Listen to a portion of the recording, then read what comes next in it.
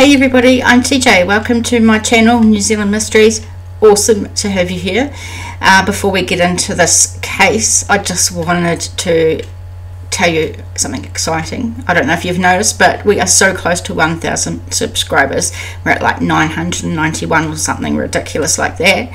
And when we get to a thousand, it's like uh, this huge milestone. Um, in in YouTube. I think it sort of cements that you're like kind of here. You've put in the groundwork, um, and hopefully it means that you know more people will notice the channel and and help us out and share the information, which is the most important thing. So I just wanted to say thank you to all of you because obviously, obviously, I couldn't have done it without you. So awesome! Thank you so much. Now let's have a look at our story today. So today we're looking into the case of Melissa Ewings, very beautiful young lady who said she was going for a walk and never uh, was found or seen again. So it's a very sad case, but we need the details. So let's get into it. Alright, first we're going to tvnz.co.nz and this was Tuesday, September 22nd, 2020. There are serious concerns for a woman who said she was going for a walk to a river on Sunday info and hasn't been seen since. So let's have a quick look.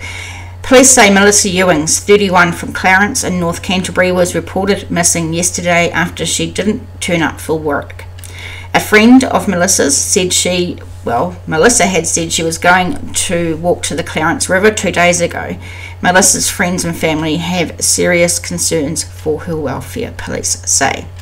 Police urge anyone who may have seen Melissa in the Clarence area on Sunday to contact 105, quoting file number 200922 slash 5064 and of course I'm going to have that in the description box below uh, if you need it. But let's move on to our next article actually quickly before um, we move on to the next article I just wanted to show you uh, whereabouts Kaikoura is and then where Clarence is uh, so for some reason I tagged this Winter Home Garden. I don't know who they are, but I suppose I'm giving them some sort of sort of shout out because I'm stupid at using Google sometimes. So Kaikoura is here, and this place called Clarence is around here. So nzherald.co.nz missing woman mystery. Police searching for Melissa's uh, Ewings track phone to 100 metres. That was on the 28th of September 2020, and I apologise for the mouth mush because I can feel it coming on already. Detectives investigating the mysterious sudden disappearance of a Marlborough woman tracked her phone to within a 100 metre radius of her house. Melissa Ewings, 31, hasn't been seen for eight days, despite an extensive police search operation and mounting fears for her safety by concerned family members. Her family say it's out of character for the keen adventurer not to keep in touch with family. Ewings lived alone in a rented house at Clarence, 60 kilometres north of Kaikoura. She was last seen just before dusk on Sunday, September the 20th, and failed to show up at work at a beekeeping business just 400 metres from her house the following morning. Couldn't be a beekeeper. No, definitely not. I'm scared with one bee around and I have like a panic attack and throw my arms and legs around and, and you, you blah blah. No, couldn't do it. Ewings had previously lived at accommodation at the beekeeping operation, mainly used by seasonal workers and which includes a caravan, but had moved to her own place about a month ago. On the day she was last seen, she visited neighbours at around midday. They told the Herald that she appeared, quote, good as gold and happy during the half hour visit. An official missing persons search was launched last Monday. Melissa's house was reportedly found locked, with a car left behind along with her wallet and bank cards. None of her personal belongings were missing, apart from the phone, of course. Everything was there, nothing had been taken or moved out of the house, said her grandma, who's based in the Gold Coast. Her phone was missing though. The Herald understands the police later tracked the phone through cell data to within a 100 metre radius of the house. Grid searches were carried out around the property, which includes paddocks with tall grass, State Highway 1, which is the main highway in New Zealand, runs sort of up and down the country, and native bush. Neighbours have also been out trying to find it, and metal detectors have been utilised. It's not clear if it's yet been found. Uh, you'd think so, surely. Uh, within 100 metres, and all those people and um, the metal detectors and everything, surely they found it. It's understood that a search team even tried phoning the mobile device from a nearby hillside at night to see if it produced any light in the darkness. CCTV from neighbouring properties have also been seized by police and reviewed for any clues. Police search teams have gone through all of the local properties and spoken to the residents. The Herald understands, along with search and rescue teams scouring the nearby Clarence River, which has been swollen and muddy since her disappearance.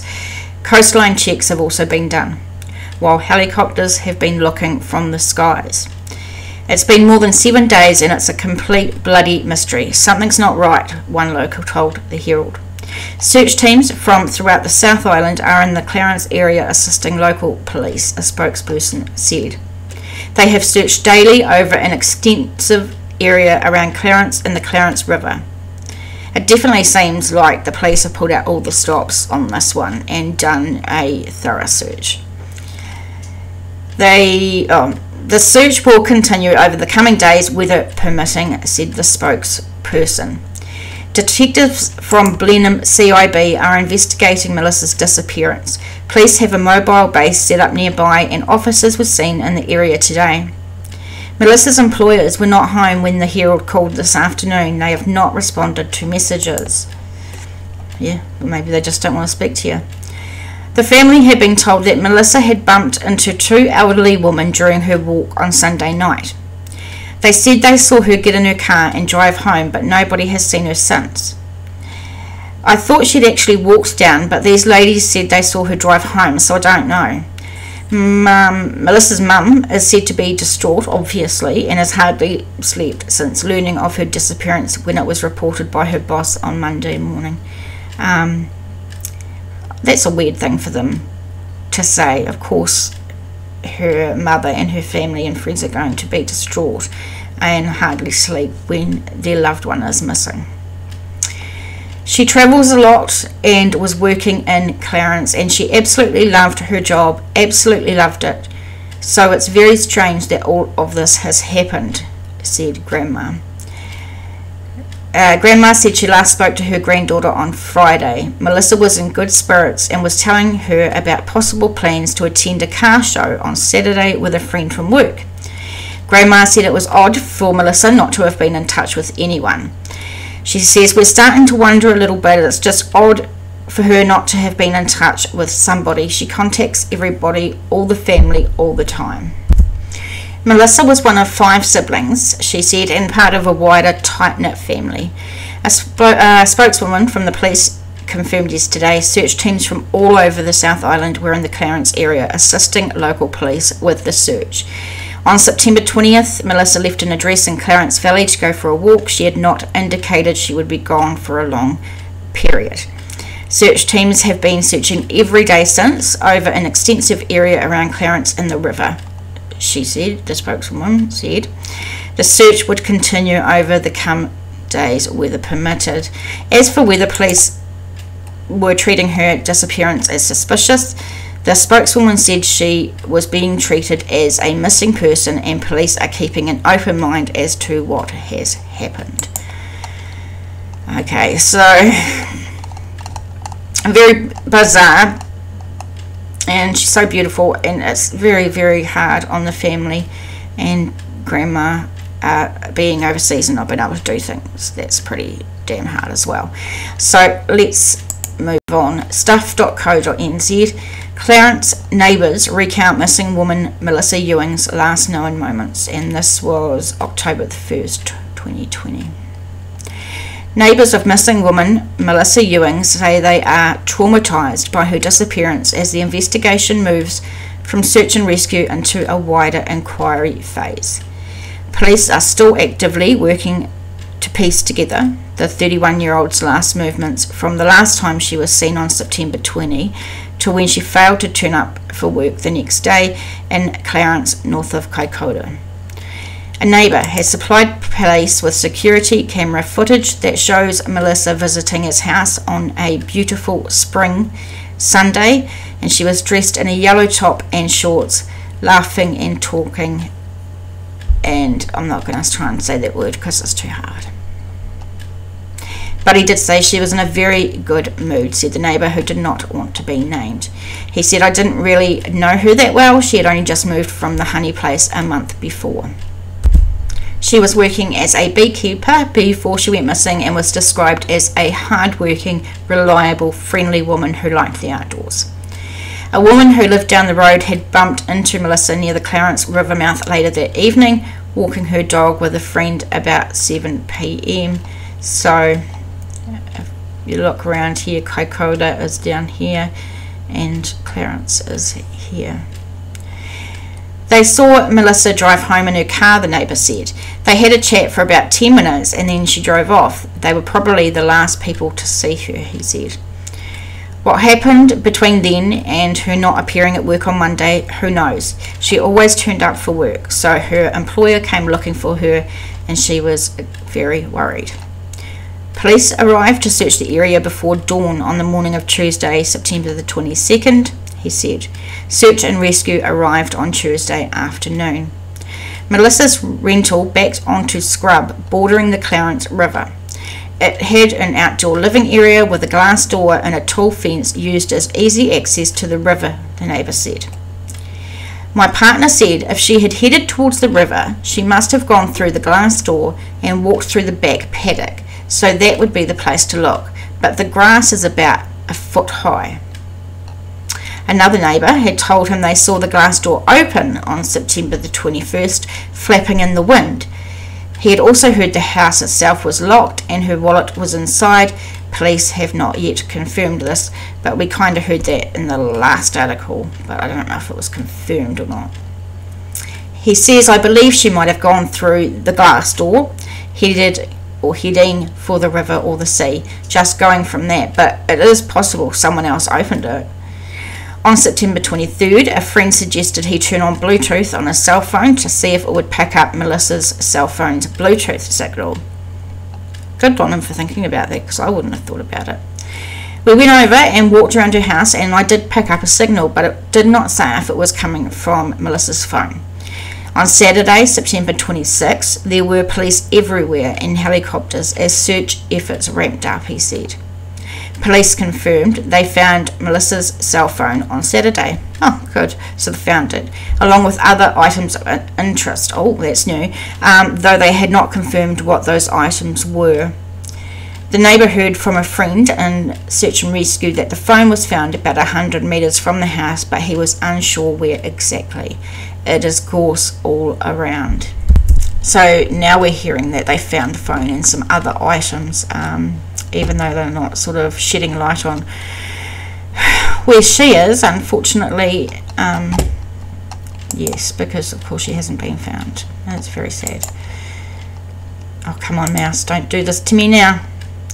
Land search and rescue teams from Marlborough, Christchurch, Hanmer, Springs, Hurunui and Murchison have been supporting the Kaikoura search team using highly trained volunteers to scour the riverbed, as well as surrounding scrub, gorse, grassland, rural areas and the small township.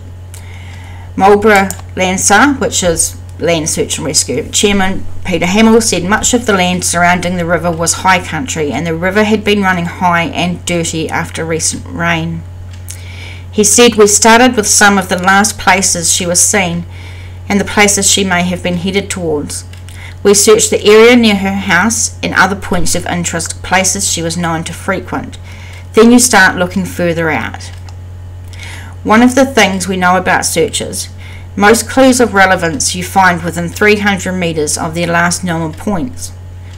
Okay, so teams went down and covered the 300 metres area carefully, looking for specific clues.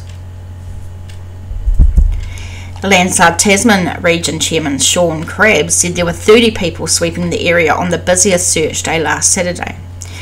They covered both sides of State Highway 1, mainly on the northern side of the river near Ewing's house, he said. They were supported by amateur radio emergency communications, managing radio communications along with other planning and support personnel before the Marlborough team withdrew this week. And I'm just trying to find my mouse because my mouse has gone missing. Um, I don't know where it is. But it's uh, pulling this down, so at least there's something. Um, oh, here it is. Um, so, yeah, well, police, uh, there's just so much going on, so many organisations that came up to help um, look for her, which is really awesome. Police said the physical search was scaled back on Tuesday to focus on collecting leads in the wider inquiry phase. Detective Senior Sergeant Kieran Sloan said there was no reason to suspect foul play. It was more likely a misadventure, considering all the facts at hand. A fisherman had died surf casting for salmon at the mouth of the Clarence River four years ago.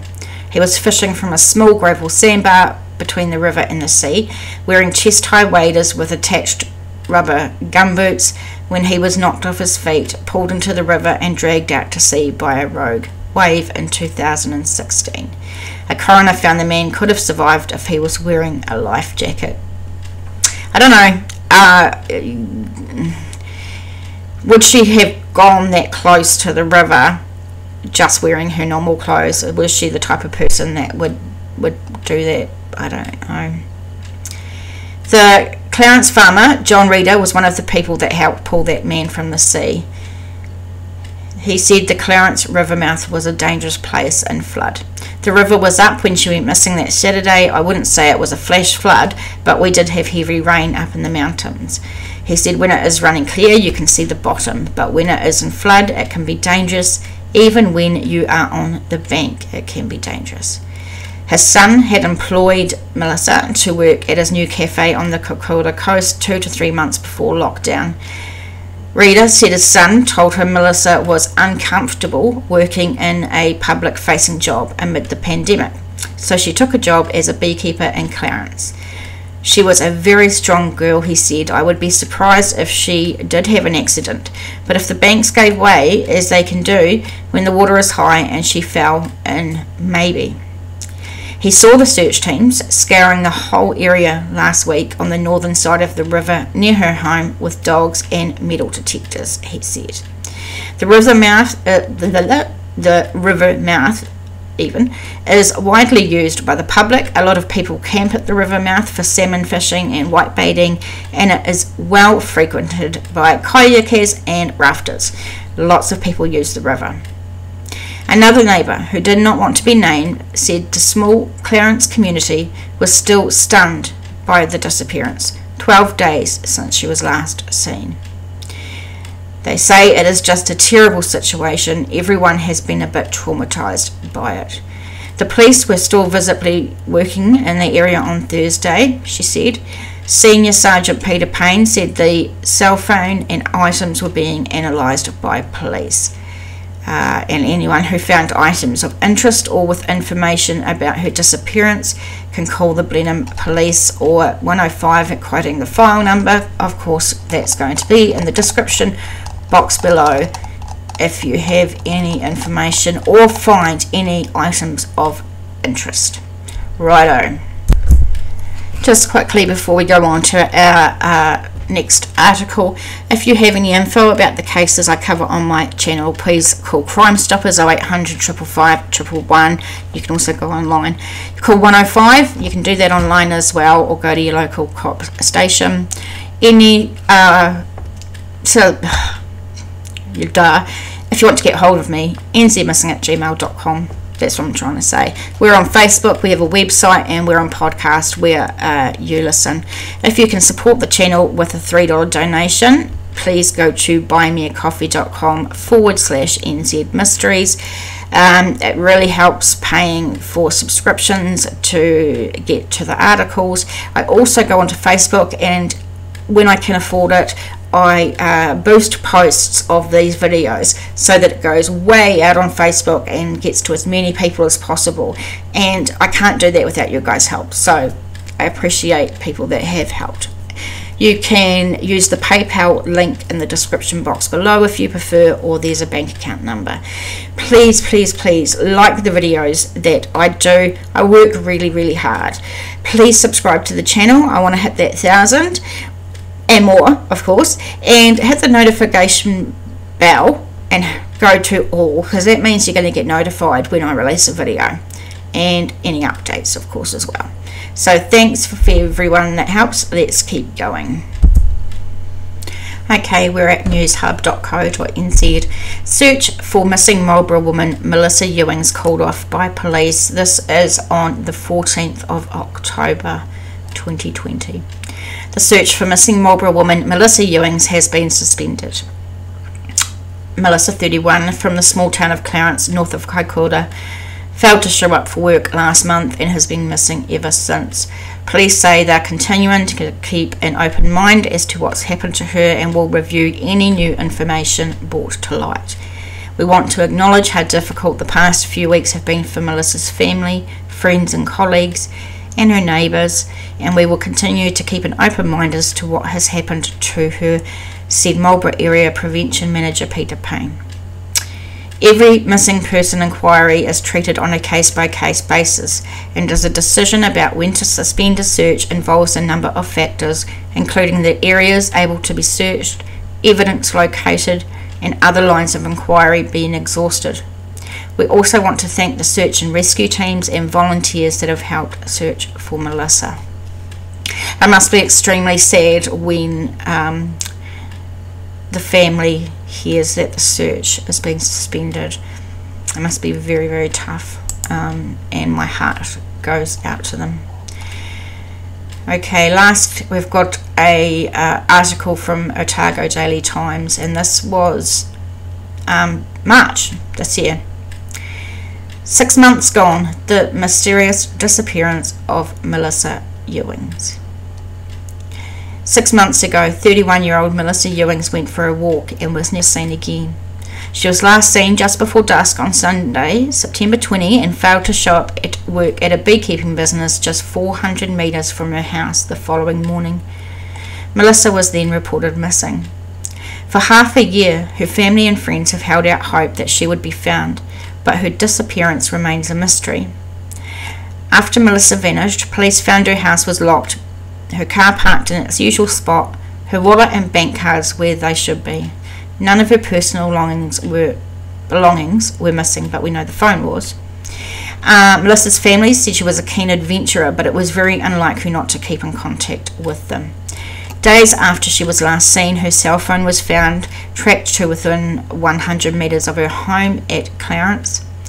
The Herald reported at the time that police search teams had gone through all of the local properties and spoken to the residents as search and rescue teams scoured the nearby Clarence River. The body of water had been swollen and muddy since Melissa's disappeared, and there were fears she may have fallen in. Simply, um, Melissa just vanished. 24 days after Melissa was reported missing, Marlborough Area Prevention Manager Peter Payne said the search for her had been officially suspended. While we are no longer actively searching for her, Melissa, we will review any new information that is brought to our attention. Um, he acknowledged again how difficult the disappearance had been for the family and promised that he would continue to keep an open mind as to what happened to her. Police continue to make inquiries into her disappearance and will also review any new info that is brought to their attention. And again, the numbers you can call.